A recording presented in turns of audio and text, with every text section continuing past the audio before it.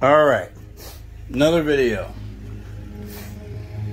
Eight inch, 700 watt max, scar, in an enclosure.